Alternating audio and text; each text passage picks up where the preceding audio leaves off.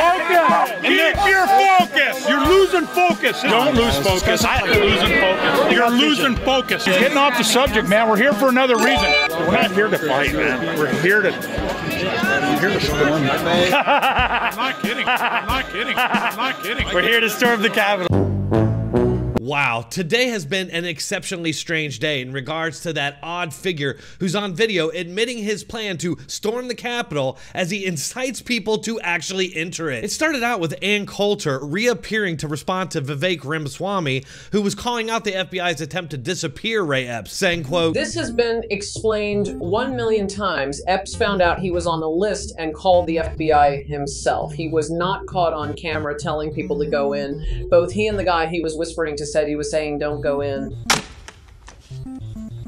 What? Folks, he was 100% absolutely irrefutable caught on camera, not only telling people to enter the Capitol, saying peacefully one time after being called out for being a Fed, then later admitting to Baked Alaska that his plan was literally to storm the Capitol, which he also did on the day of January 6th, not to mention admitting to orchestrating the entire thing in text messages to his nephew. Coulter and folks like Destiny would have you believe that he had a sudden change of heart and whispered to one guy not to riot just as the riot started. Also, for a guy rallying people to enter the Capitol, he gets to just call the FBI and clear it all up? No armed takedowns by SWAT teams? Others who did far, far less did receive that treatment, but not Epps. Man, this is some bullshit! She also went on to claim that there was no video of Epps inciting people on the day of January 6th and got rolled for that too because there obviously is. We are going to the Capitol where our problems are. It's that direction.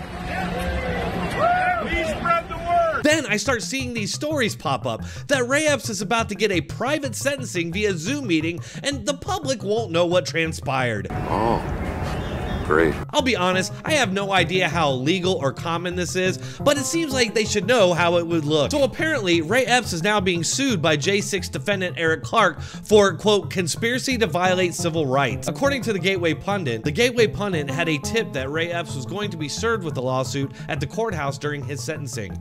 Process servers were hired by the plaintiff, and our reporters were scheduled to be there to capture the moment Epps was served on video. This was all discussed yesterday in private phone calls. Then, like magic, Ray Epps' fairy godmother changed his public in-person sentencing hearing to a remote telephonic sentencing hearing. And the judge who approved all of this was appointed by Obama for whatever it's worth. And just like that, as I predicted, during this private hearing, Ray Epps received a sweetheart deal of one year probation, a $500 fine, and community service. And this Obama appointed judge is a total clown, saying that it wasn't an easy sentencing, and that Epps knowingly joined a mob and entered a walled off area on the day of the attack, but then confessed to law enforcement, helped congressional investigators, and saw his life upended by the conspiracy theories. Notice anything missing there? The part about telling people to storm the Capitol? Right now, I suspect that many of you are thinking to yourselves, but regular people who were peaceful and just walked around or weren't at the Capitol at all received prison sentences. But the guy who's on video literally admitting his plan is to storm the Capitol as he incites hundreds of people is given probation? Yes, in fact,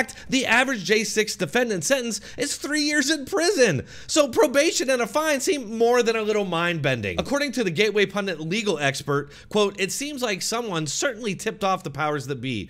This is unheard of. It's also illegal for the government to be non-transparent with a sentencing hearing and hide anything from the public. This is also potentially unconstitutional. I think at this point, you have to accept that Ray Epps was either working for the government in some capacity or that his obvious guilt somehow prevents them from blaming Trump, and that's why they're protecting him. All right, folks, that's all I have, but what do you think? Let me know in the comments and hit that like button on your way out. I'll see you all in the next one.